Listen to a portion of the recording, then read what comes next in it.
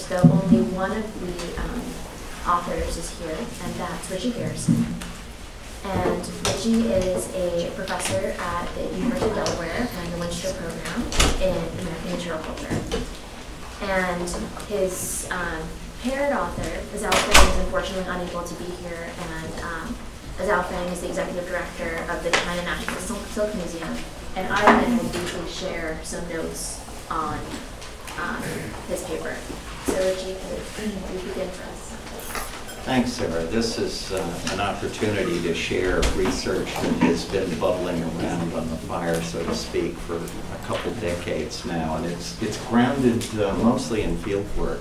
Um, I did this intentionally. I'd already written some of this up, uh, although it's a very drafty uh, piece of work. And uh, I thought it would be most effective today to sort of force you into the kitchen, which is both technologically uh, one of the most stable things we all do since our necessity for nutrition is embodied literally. And it's also, in many ways, very, very conservative because despite our notions of commodity chains and the ways in which food supplies have changed, uh, if you, when I ask my students about the kinds of tastes and foods they enjoy, they're often very, very traditional and based on what they experienced growing up. Also, in some cases, we're dealing with cultures in which we literally become allergic or non allergic to certain kinds of foods, which are probably encoded genetically, though we don't perfectly understand some of this at the moment. So, in thinking about the kitchen, I both wanted to look at things that went back millennia in terms of cooking with fire, and at the same time, to look at some of the technological changes that were taking place in a really critical period between basically the late 18th century and the mid part of the 19th century. Uh, I'm not going to pretend that the case studies that I chose are in any way representative of the broad changes that were taking place in either American society or, for that matter, continental society. I was intrigued, and I, this is kind of where it started, in looking at John Lewis Krimmel's uh, portrait of a young woman on the 4th of July, 1819, doing cooking over an open hearth in a Pennsylvania farmhouse. And at the same time, if you look carefully to the right, you'll see a 10 plate stove uh, which was equipped both for uh, baking, that's the reason why that door is on the side, but also warming the kitchen. You could literally cook on the top of that stove. And the, the challenge here is to think about why would you have both of these technologies in the same spaces?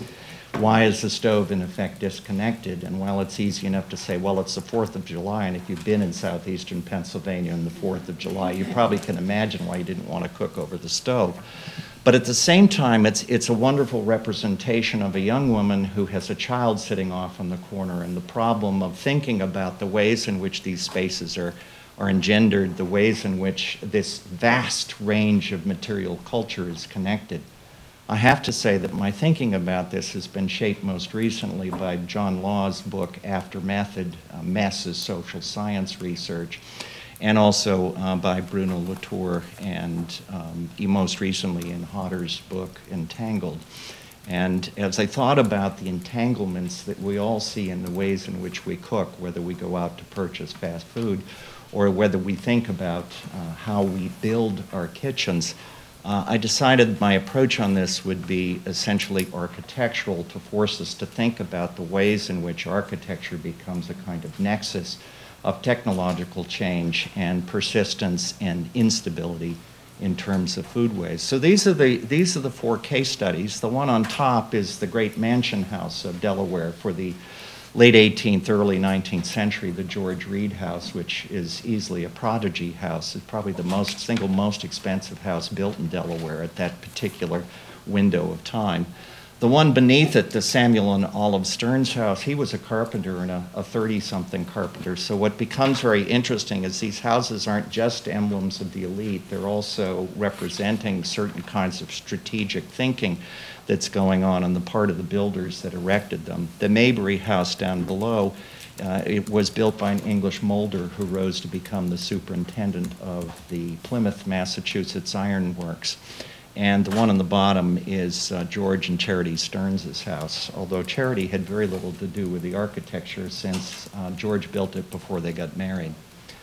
As you look at the background of much of the technology here, what you begin to see is a sort of fusion. And because we look at the strategies that get published in many cases, we tend to take off from those publications, and particularly the illustrations of those publications, such as Count Rumford, which is sort of uh, in the middle on the left hand side. But you can see these raised cooking facilities uh, in English country houses uh, in the late Middle Ages. Uh, Uppark is the building on, on the lower left, and right to the right of that is the stew kitchen, which is probably the product of the early 19th century, where you can see these kinds of things being designed into kitchens at a very, very elite sort of level, except that they also percolate down into the lower level. Rumford's famous roaster, which shows up, and, and Laura reminded me I didn't include the Rundlet May house in this sampling, um, and I just couldn't include everything. But the Rumford roaster is this major effort of uh, technological innovation and famous in Rumford's publications. It was also deucedly difficult to actually operate and required a certain technological proficiency that was probably beyond what most cooks could manage. Now, this is mostly a representation slide. It's a complete fabrication at Old Sturbridge Village, and I make uh, no illusions about that. But it represents the kind, visually, for your purposes, of the kind of open hearth cooking that was, in fact, endemic to the Northeast in middling types of housing. And it was, in fact, uh, emblematic of a very, very long tradition of cooking and food management, and food storage preparation, and preservation, and all of the other things that went along with it. I got into this in part because I had students asking me, well, how did the fireplaces actually change for preservation purposes? And in thinking about it, I also had been encountering over the years numerous innovations in these houses and the ways in which they were thinking about cooking. And this is the George Read House, primarily built, despite the dates the Historical Society of Delaware likes to put on them, primarily built between 1801 and 1803.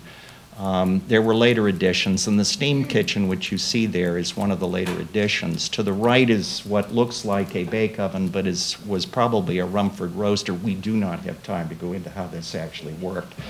Um, but what Read does is he builds this thing in at great expense. He has huge problems that show up in his letters trying to find people who can actually construct this thing.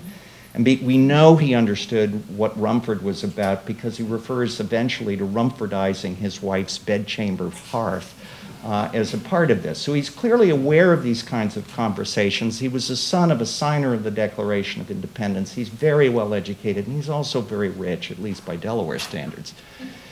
He gives up in this constructed Rumford roaster and builds in a steam kitchen, uh, which is essentially what he's still using at the time he ended things. Did he need a steam kitchen? I don't know. He had a cook, an African American cook, and he also had domestic help. We don't necessarily see this technology in many areas of the South, probably because people operating at the most elite level could hire uh, either trained cooks or enslaved cooks. They weren't hired. Um, to do the work for them. So we do see these fancy kinds of kitchens in various places in the South, but not in many places of the South relative to what we see in urban parts of America.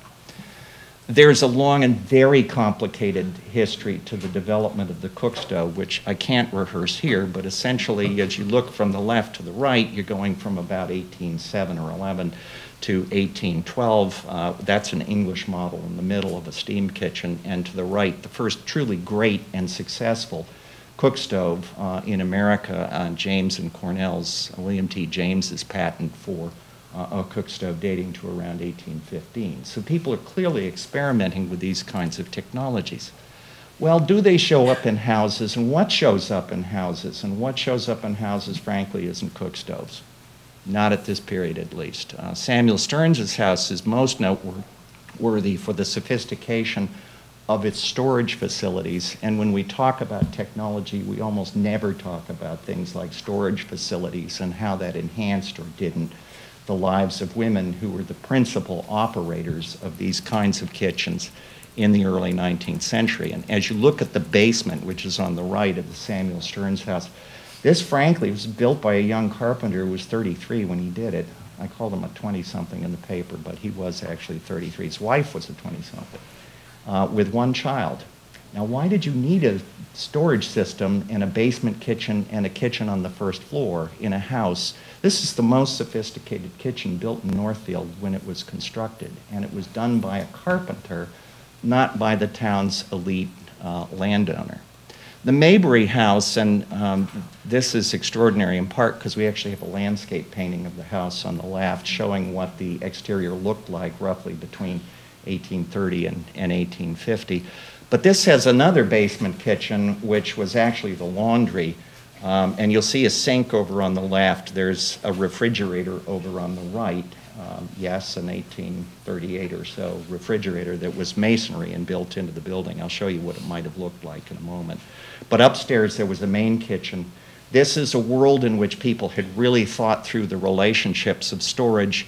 We know there was a sink because the supply pipe was uncovered when the basement was rebuilt. The laundry is over on the right, and the ghost of the refrigerator is on the lower left with the uh, refrigerator that still survives at Shaker Village um, from the 1820s in Kentucky. I could not figure out what this thing was on the right till I actually saw the thing on the, uh, I mean on the left until I saw the thing from the right in Shaker Village. There is virtually no literature on this. Uh, Catharine Beecher talks about it later, but not in the period when people are actually doing this. And so the ways in which very ordinary people are experimenting with this kinds of technology are truly interesting in all sorts of ways, but the forensics of it requires that you actually go look at the buildings instead of depending. You have to also depend on library sources, but you can't only depend on library sources. Now, in the case of Betsy Mayberry, this is the cooking hearth for Betsy Mayberry's kitchen. She was trained, she was older than her husband, and she undoubtedly trained in hearth cooking, and even though cook stoves were available, she didn't use them. I've got to move because Ivan's bell is ringing, but Here's the George Stearns house. I could only figure out what was going on here by reconstructing the floor plans and seeing what lined up with the basement and what lined up with the kitchen up above.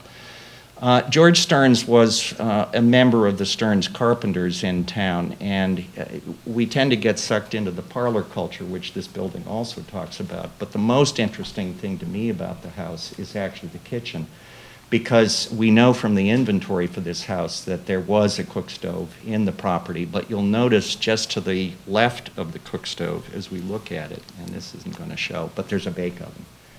And part of the reason for that is that early cook stoves didn't really bake anything very well, and people built brick bake ovens if they had the wherewithal to do that uh, so that they could bake things efficiently. Um, what you're looking at here is uh, the floor plan of the um, Stearns House, and on the right, you could buy freestanding refrigerators, and that's what they were called. We call them ice boxes later on, but they were called refrigerators in the period literature. And you can see different kinds of cook stoves and refrigerators here. Point here is what we are looking at in sort of broad conclusions, and there certainly, uh, you could enumerate a number of others. But we're really looking in the ways in which people are thinking through patterns of productivity and convenience, much of it oriented towards women. It isn't only about domestic parlor culture, it's also about the ways in which people are working in these houses in very, very sophisticated ways. Secondly, we're looking about uh, the development of truly flexible, standardized appliances that could be swapped out. The problem for George Read was when his elaborate effort to build a steam kitchen didn't work out, it was incredibly messy and costly to try to change it. And so cook stoves didn't last very long. They burned out. And they were also so hot technologically uh, in terms of their design innovations that what was sensible five years ago didn't make any sense um, within five to ten years. And so people begin to shift to cook stoves in part because it's an appliance you can replace. Finally, when you get into things like ice, uh, not everybody could harvest ice. Um, but the ice in particular is about the development of capitalistic systems in which supplies of ice have to be distributed. We don't see an ice refrigerator built into the George Stearns house because I think in his case he's in western Massachusetts. The Mayberries are in Plymouth. The ice shipments could come down directly into Plymouth Harbor, and it's easy to access it. But in western Massachusetts, it's not until the railroad arrives and you begin to see the development and distribution of ice that takes us into that next phase of great technological change, which is really dependent upon this network of economic and capitalistic relationships where these kinds of commodities become available in a widespread way across the country. So that's the shorthand of the talk. Thank you.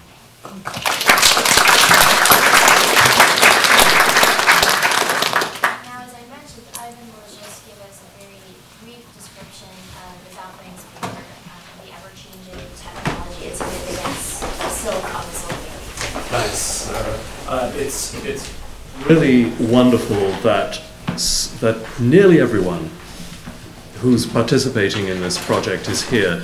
But it's a shame that three people are not. Uh, one is uh, partnering with Lambros Malafouris, Chris Gosden. They're writing a chapter together, and Chris is in India on a dig and can't be here.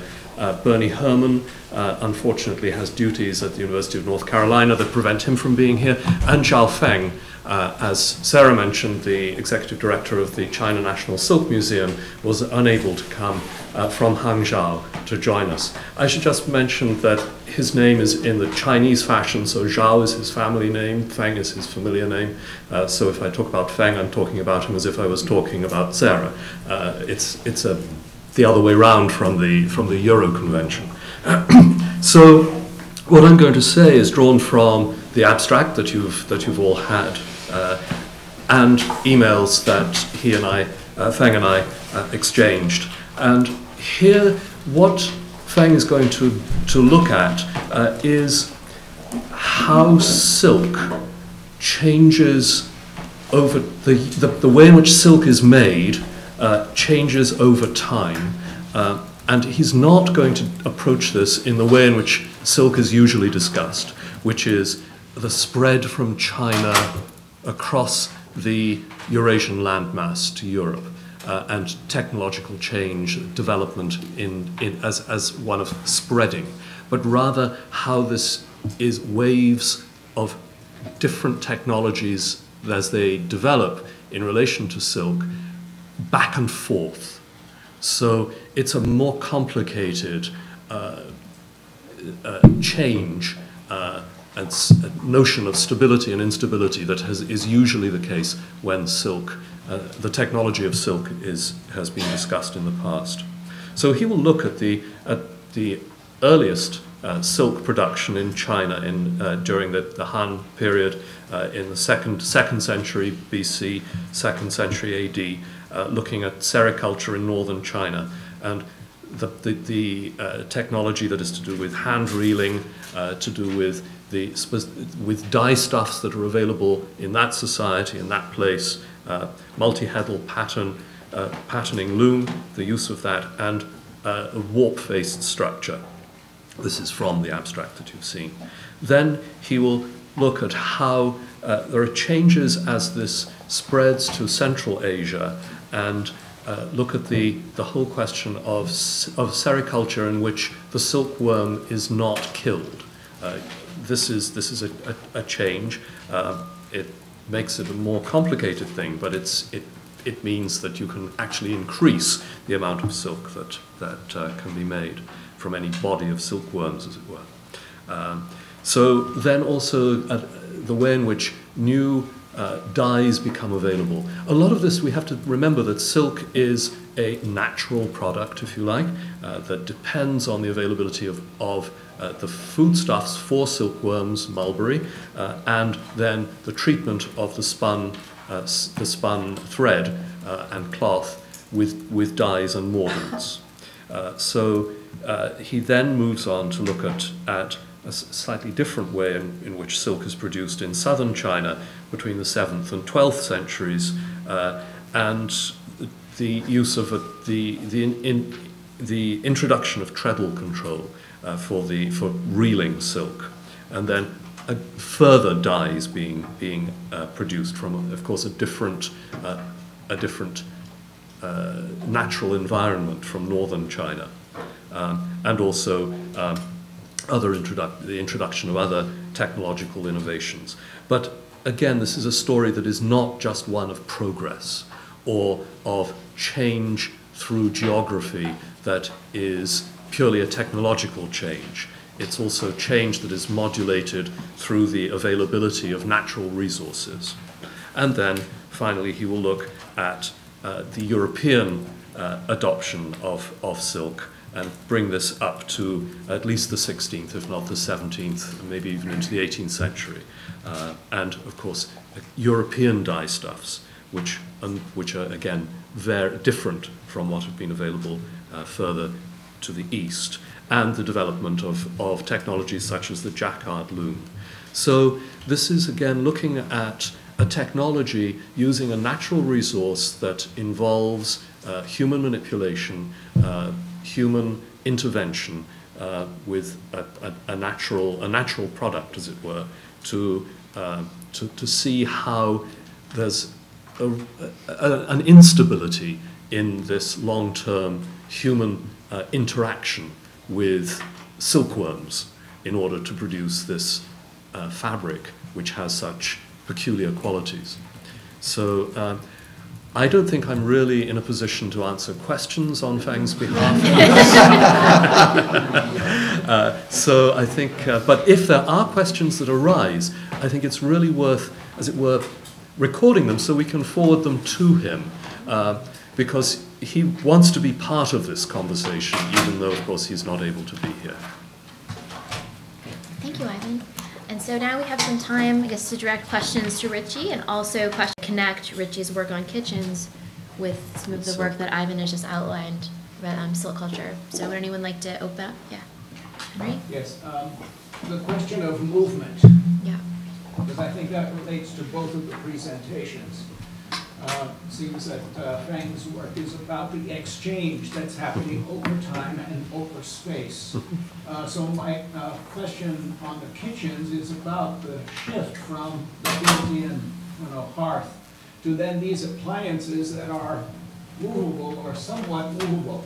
And what, uh, what implications does that have for our understanding of a sense of family, a sense of place, a, a sense of rootedness as opposed to mobility in a changing American scene.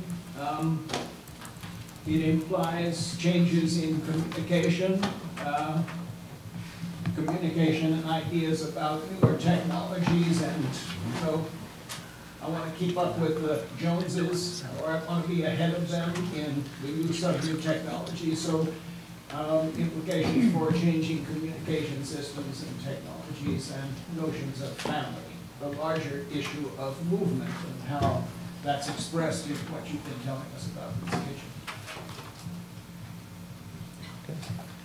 Okay.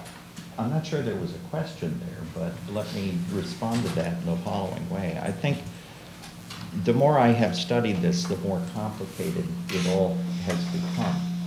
And it, both at the level of the ways in which information moves around, and clearly some of it, Rumford is the perhaps classic case in point, comes when he publishes his volume, which actually comes out, um, the, the, issue that, um, that Reed read probably came out in 1802. And he literally, we know from the restoration of the Read House that there was a change order imposed on the kitchen because when the restoration was done, they've actually found the seams where he rebuilt a portion of the kitchen hearth. And it was probably a botched job in part because the first iteration of construction was just too far along to do it the way Rumford had proposed. And also, I suspect, because Read's Mason hadn't a clue what um, Rumford was actually proposing. In other cases, it's very clear that we are looking at a very widely and diffused distribution of knowledge um, on the part of all of the actors and the materials that went into these kinds of kitchen remodelings. Whether it is uh, the designers who produced these cook stoves or actually the workers who worked in foundries uh, who made the pieces that went into them. In the case of Joseph Mabry, he was an English molder. In the case of some of the design ideas, you're looking at people who come out of German traditions and bring them over. It's important probably to, to remember that it wasn't always diffusion from Europe to uh, the United States. Rumford himself was uh, born in Woburn, Massachusetts, and as a royalist went to England and subsequently went down to work for the Count of Bavaria in Munich. And much of his design ideas were in fact based on what he encountered on the continent and at the same time what he learned from his ability to tap into the kind of various resources basically to reduce the cost of uh, the overhead costs of uh, the almshouse in Munich and the widespread distribution of people who are on what we would today call welfare uh, in the in the city of Munich. And what what he basically did was to incarcerate those who were beggars on the streets and to build these very sophisticated uh, systems in the almshouse that would, along with food recipes, that would allow them to feed them. So what I'm trying to suggest here is that this is immensely complicated, that it is always about things as seemingly simple as how do we pay for the fuel that goes into this. Most of the cook stoves were two-thirds less fuel intensive than using kitchen fireplaces. The George Read House, this astonished me, actually consumed in the vicinity of 50 to 60 cords of wood a year to heat and cook in the house. That's a stack of wood that is roughly 7,000 cubic feet of firewood. Oh okay, he shifts to coal in the 1830s to anthracite coal. And that would have occupied one room in the basement three feet high with the same amount of BTUs. So what you're looking at here, you can't simply create a, an understanding of these changes in the kitchen based on monocausal forms of social discourse. It's always about, as, as Hodder reminds us, it's always about the ways in which not only people interact with things, but the ways in which things interact with things. The amount of energy you're going to get out of a unit of wood or coal the ways in which running water shortens the physical labor that went into the workers who operated these domestic spaces. The fact that you see real efforts encoded into the architecture of these spaces to lighten the labor of work. It isn't, in fact, only about more work for mother, as Ruth Schwartz Cowan famously put it. It's also about the ways in which husbands and others actually cared about how their wives and their daughters operated in these household units and how people could make their work less physically laborious while at the same time encountering the very kinds of problems that the technology actually begins to create. That, however wondrous it might have been that the Mabrys had a refrigerator, it was in the basement, in the northwest corner of the basement, which makes sense from the management of cold, but at the same time must have been incredibly awkward to use. It's like those of you who have basements um, have to go down to the freezer in the basement to get stuff that you may have put down there for longer term storage people were working these kinds of things out, and they don't comment on them very well uh, because they don't write them up in their letters. They don't tend to put them into their account books, or if they do put them into their account books, there are little snippets where you have to reconstruct fully the economic life of a family to really begin to see how these things interacted. I couldn't figure out where George, why George Stearns uh, had a well in his workshop in the basement. He was a carpenter. His workbench is still down in his workshop. But I couldn't figure out where to well in the middle of his shop because to me that would have been a deucedly inconvenient sort of arrangement thinking about it like a carpenter until I lined it up overhead with where the kitchen for his wife was and discovered that that was the wall where the sink was almost certainly located. And the well would have had a pipe that ran down through his workshop um, up above to the sink that was likely in, in, her, in her kitchen.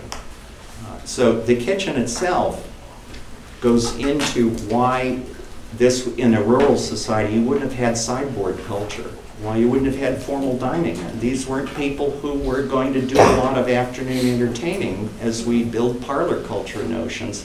in urban environments. These were people who, if they entertained at all, were entertaining on Sunday or in the evenings when they maybe had the time. And they build their kitchens and they build their storage facilities around the notions of work that made sense for them. So to look empirically at that kind of evidence began to alter the ways I thought about it philosophically. And with that, I should stop and let others ask questions. Just very briefly concerning Henry's really important point about movement and communication. Uh, Feng's uh, chapter is going is has the Silk Road in its in its working title. So it is he is I think thinking about how things move from one place to another and communication. Now silk is a high value bulky but relatively light material. So it is something that can be is that each each uh, uh, bale, as it were, goes a long way in commercial terms.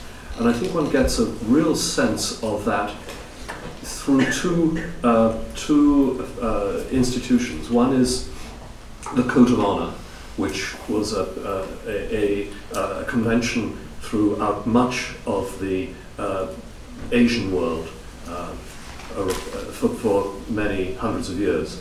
Uh, and the other, the, the, the, bestowal by a powerful person of a silk, often silk, not invariably, but a coat, on someone who that person wishes to honor.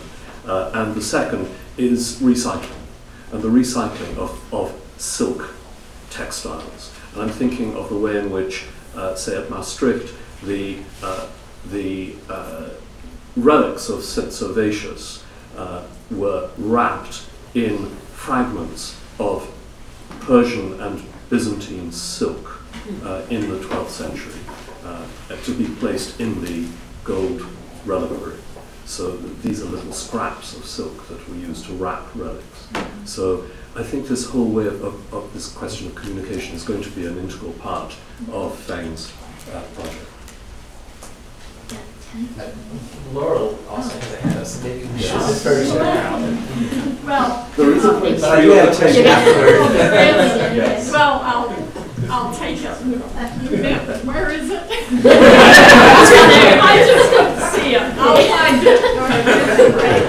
Um, This, Ritchie, I really love the way you expanded on the fuel, the raw materials, also thinking about the ice. It seems to me, you know, maybe if this is culture and technology, but I think in large measure, technology in the initial abstracts and presentations was more on the engineering and physical sciences side. But thinking about the environment, about natural science, about those kinds of issues, the agriculture, the cow versus the axe, and so on, seems to me a really important uh, theme to be addressed. I mean, you can't do all of them, but I was really glad to see that brought out. I do have a question. What does it mean to increase production in the kitchen? More pies, more people, and more fancy stuff. You know, I'm thinking of more work for mother. The, mm-hmm. that theme. So, how are you thinking about this as you can see efficiency, but increasing productivity? How would you define productivity in the kitchen? Well, in this case, I'm using what I think of as a fairly traditional uh, notion of productivity, Laurel, in, in which um, you're spending less time to actually do uh, the same particular process. But that's not what happened, right? Well, I, I, I, am not, I'm not trying to debunk Ruth's observation about more work for mother, but what I do think happens is that women do, to some extent, buy time, and one of the most important was in something we so take for granted today, and that was running water. Uh-huh. Okay? Not having to go to a well to draw water, not to mention if you've ever picked up a bottle, a bucket of water, you have an idea of just how physically strenuous that But was. you, but you had While a boy to do that. Well,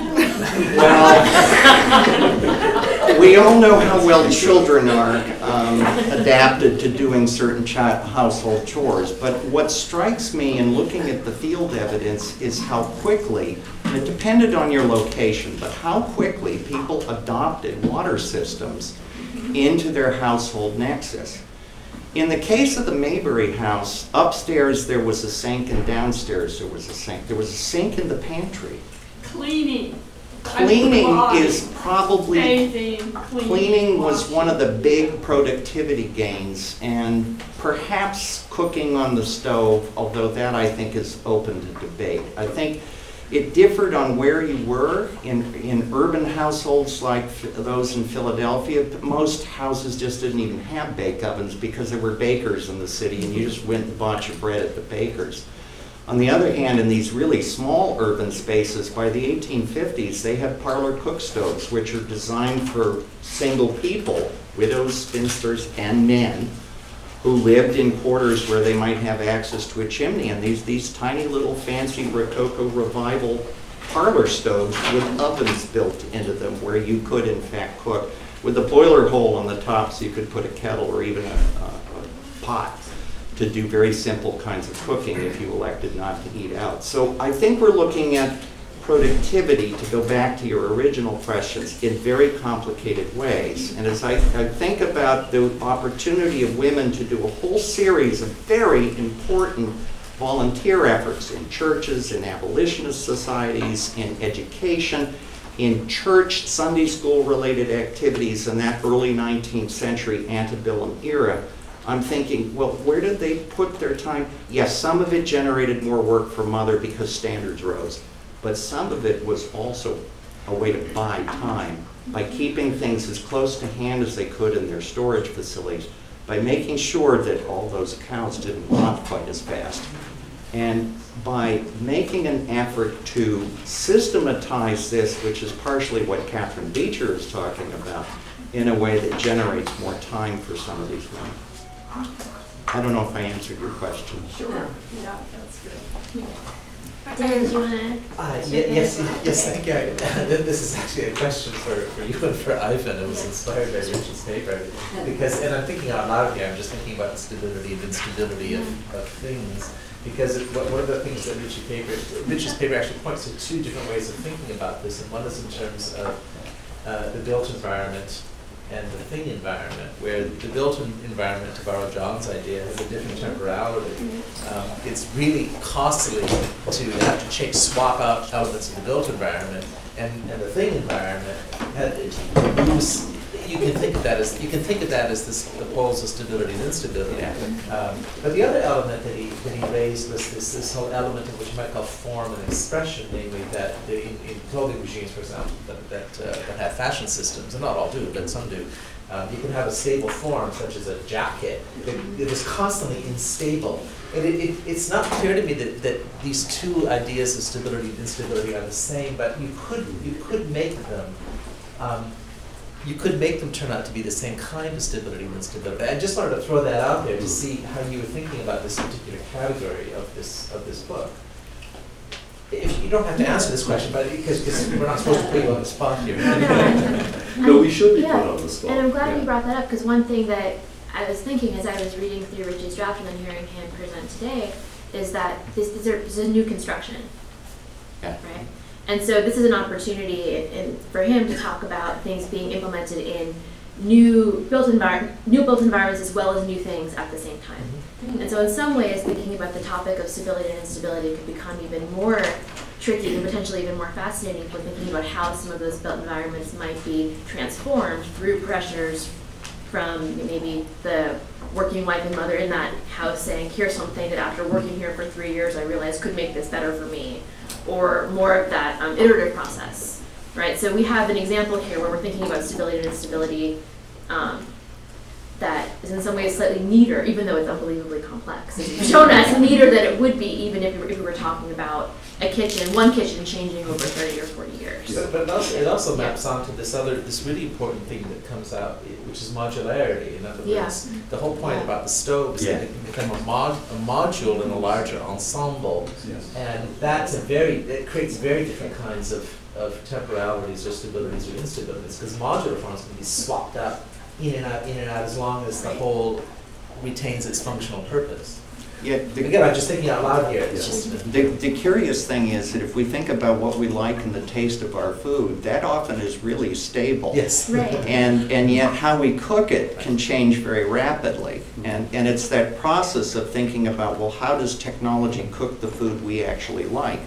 So you can see at very uh, high-end um, houses today, kitchens with pizza ovens. And, you know, what is that about? That's basically an old-fashioned bake oven. Uh, And I think people have them sometimes to brag about them, but not really use them. Because at a certain point, you have to cut the wood and put it in there. I suppose they buy wood to put in there. But at the same time, the learned skills of actually managing those bake ovens is, uh, is really challenging.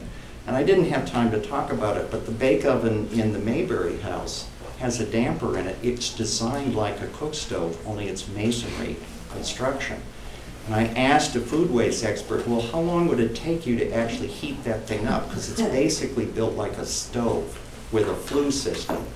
She said, you probably could heat that oven up in almost, to do usable cooking in about 20 minutes. Mm-hmm. So as, as you think of, you're looking at domestic kitchen productivity in ways that we don't very well understand because the technology is now so far gone that we haven't used it experimentally. And when you, when you look at people who are reenactors who do cooking in these kitchens, they're doing colonial kitchens. They're doing kitchens that have traditional forms of bake ovens and not these kinds of bake ovens that are really designed with the technology that is designed to use lower fuel levels, higher heats, and to manage those heats in very sophisticated ways. And, um, here is a question, and then quickly Laura and Catherine. Uh, Just very briefly for Ritchie, the question of the kitchen as an object of evidence. I'm wondering, to sort of establish that, whether it would be at all useful um, in a comparative context to look at the changes to kitchens alongside of the changes to other rooms in the house uh, so that we can specify as precisely as possible exactly what the kitchen stands for in a kind of cultural context. I, th- I think we certainly can do that, The- but the more I look at kitchens and real-world buildings, the more complicated they are. And you do see patterns, and those are important to talk about, but you also see tremendous amount of variety. And it can change over time in ways that, that go directly to this notion that we want to design a form of technology that can be swapped in and out as conditions and needs arise. So if, if you've read, say, studies of boarding houses, and the ways in which single-family houses get converted to boarding houses, they're often built on a kind of technology that is highly flexible. The thing we need to remember about cook stoves is, as standalone units, they're highly flexible. Yes, they go obsolete pretty quickly, although they become stable by the 1850s.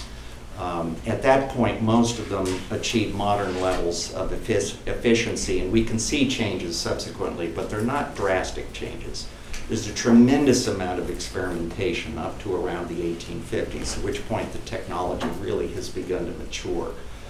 In the earlier period, um, what, what is so challenging is to really think through how all of these technologies are interacting with each other, because they're related to food, they're related to fuel, they're related to access to water, potable water, and this is when you start seeing big metropolitan water systems become introduced, Philadelphia first, but subsequently New York.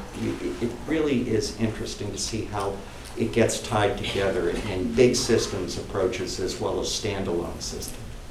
Laura, did you want to? Yeah, just hearing Ritchie talk and reading your work and then thinking about the other conversations we've been having this morning, something that occurs to me about how your work and Professor Giles might connect is the concept of success with technology.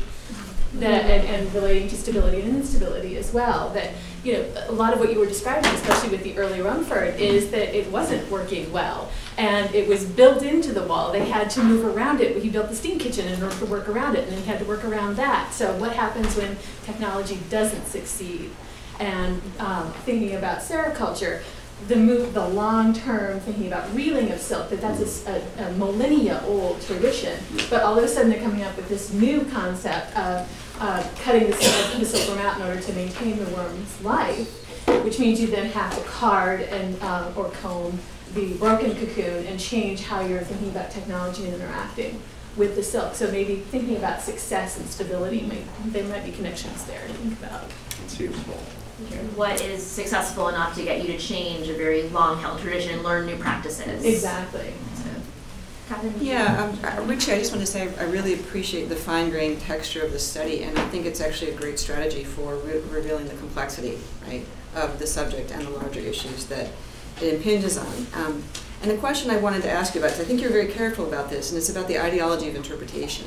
Because in our discussion, better, terms like better come up, success, emancipation, and I, I, I've also, I've been trying to avoid the word progress, but these narratives of technological and social progress are so, we, you know, it's, it's almost unavoidable. And I feel like you've done a very good job of, um, I don't want to say avoiding, but dancing with those, those, uh, those narrative frameworks. I'm wondering if you can comment about that.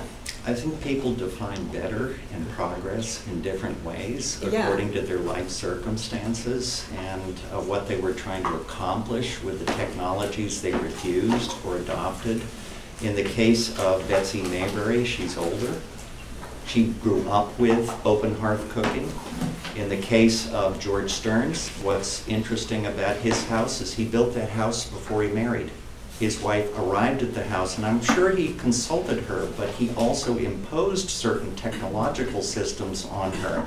Um, as a daughter of a ship's captain who grew up in a very wealthy household, um, who may or may not have planned to be using some of this technology, but had to because he built it for her and she arrived at the house and had to use it. It was very, very sophisticated uh, kinds of stuff. But uh, what I've learned is it's extraordinarily dangerous uh, to generalize too freely about this material. Even in those four case studies, you can see variations on themes that we, we really have to be cautious about saying, okay, it went from thus to so.